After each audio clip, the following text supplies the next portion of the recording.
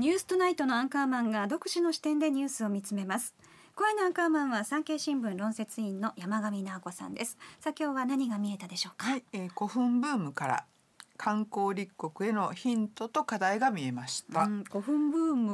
うん、今古墳ブームですよね。あのもちろんその世界遺産の、ええ。あの登録への、えー、国内の候補になったということですけど、これ何でしょうか？え何ですか？これシ シール？あのね、こうやって縦にすると。あの前前方方後後円円墳の形形をしているネイルシールなんですけどね。爪に貼るシールなんですね 爪もらったんですけどね。こんなんあるんですもらっかたんですけどね古墳に興奮協会いうのがあるんですよ。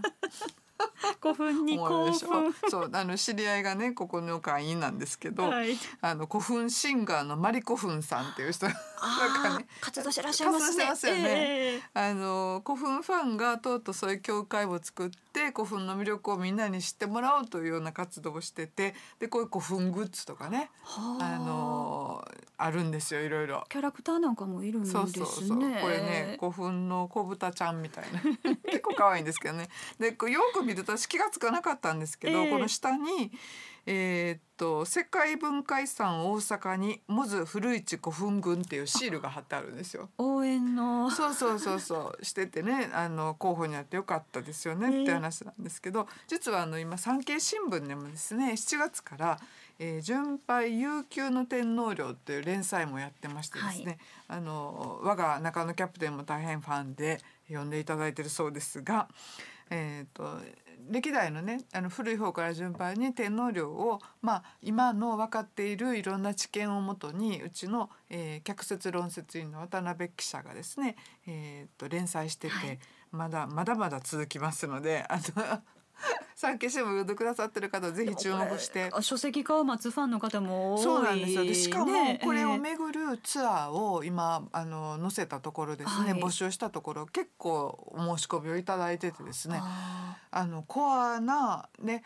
自分で行ってもねそのよくわかんないじゃないですか。そうですね。うん。ええやっぱりそういう専門家とかと一緒に行って、えー説明してもらうととてもよくわかるし何が珍しいとか、うん。何がすごいとか一体何年前にこれがこういうふうにできたとかっていうのをね教えてもらうだけでも多分その考古学ファンとしては、うん。あの楽しいんだと思うん興ですけど。奮度が違ってきますよね。興奮に興奮するんですよ。ええ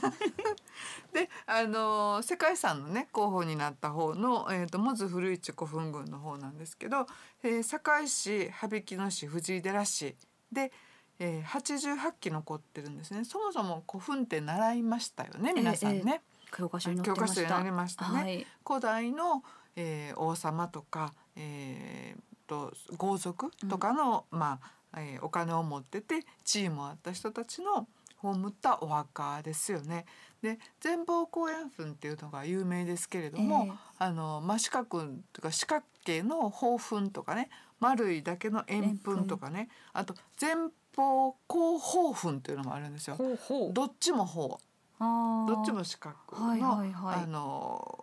もあるしで最近ピラミッドっぽくなってるやつだったやつとか八角形になってるやつとかねいろいろ研究が進んできたので、まあ、その都度そのあの古墳にもいろいろ種類があってっていうことも分かってきましたよね。はいで実はその日本の古墳で大きさがベスト10のうちこのモズと古市古墳群には、えー、12345つもあるんであすね。ずいぶん大きいんですだけどねやっねぱ大阪って古墳がせあのに日本的にも一番集積されててしかも大きくて、で多分ここから周りにその技術とかが広がっていったんじゃないかなというふうに思えるんですね。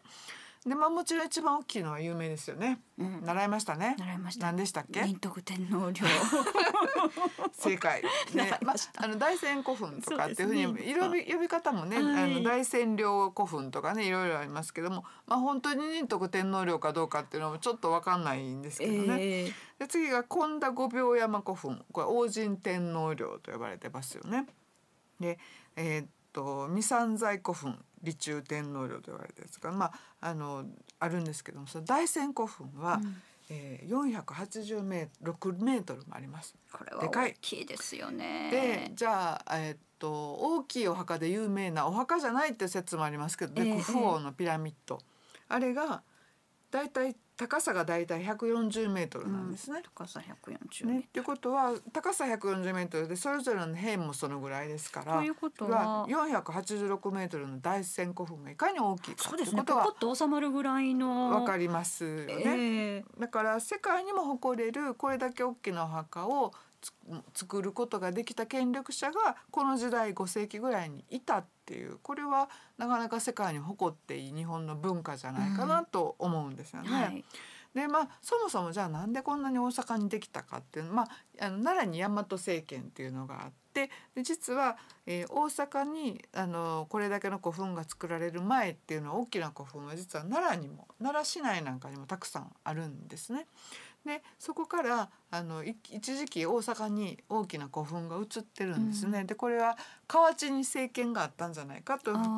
える学者さんもいて。はいでまだその辺が実はあの文献とかがないもんですからよくわからない謎の5世紀なんですね。そういうふうに考えるとちょっと興味出てきませんか？そうですよ古墳に。ね。なんか何もでもこれから新しく知ることっていそうのがあるわけなんですね。でしかもそれよりもっと前になると謎の女王卑弥呼の時代になる、ええじゃあ卑弥呼の時代からこの古墳の時代があって大和政権になるにはどういうふうに移ってきたかのかっていうのもまだまだ謎が多いんですね。でまあそこにこれだけの大きなお墓を作る技術があって権力者がいてで、えー、と今もう残ってるっていうことですから、まあそれを世界に誇るね世界遺産の一つとされても、まあ、当然いいだろうと、まあ、地元としては思いますよね。だから今回4回目の挑戦だったんですね。たんですよね。やっとあの今いろいろあの調整があってね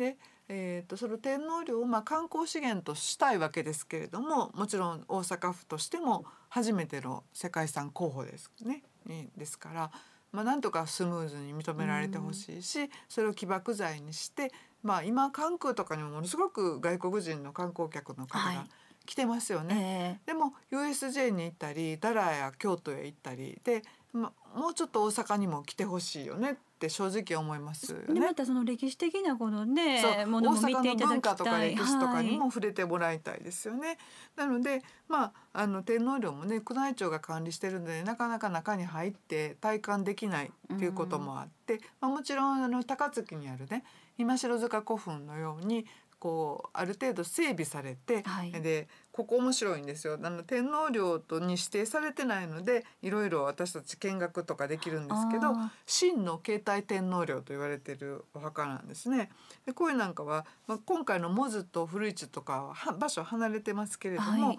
あの上からこう一望したりできるスポットとかも作られてるんですね。全体の形が見られるんですね。で中でそこでイベントとかをも開催できて毎年賑やかにイベントとか開かれてこの古墳に古墳協会の方がグッズ売ったりしてるん ですけどあの墳丘もね実は地元の人たちの散歩道になったりしてるんですよ。だからすごくその地元と親和性の高いうんまあ遺跡になってて、ええまあここまでとは言わないけれども仁徳天皇陵とかこういうせっかく大きなやつもね、はい。大きすぎてね見るとこがないんですよ。そうなんね。こう近くに行ってしまうともうほんと一部。ね、みんなヘリに乗って上から見るわけにもいかないしね、はいそういう意味でそのこのだ今ちょっとウェブでねあの見られるようにあのバーチャルリアリティで見られるようになったりとかしてますけれども、まあ、そういういろんなことをね、えーこれから整備していくにもちょうど、えー2019年の登録を目指しているということですからそれをいかに観光資源として、えー地元に取り込んでやっていくかっていうのを課題がね見えてきたかなと思うんですね。アンカーマンの目でした。